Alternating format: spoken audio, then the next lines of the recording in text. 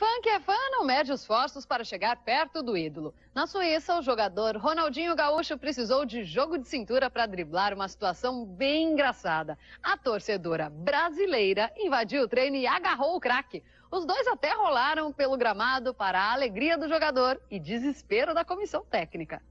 O treino com bola termina. Os brasileiros estão no centro do gramado, alongando.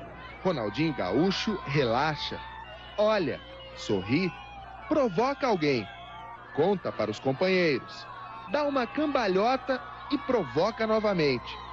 Vira as costas e, de repente, quando menos espera, uma fã invade o campo desesperada para agarrar o melhor jogador do planeta.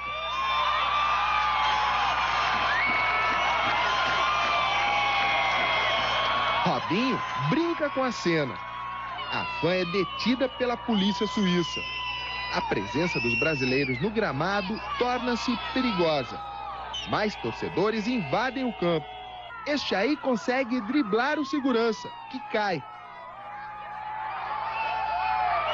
Na sequência, o invasor imita um toureiro. No fim, ele e mais quatro pessoas vão parar na delegacia. São interrogados e multados.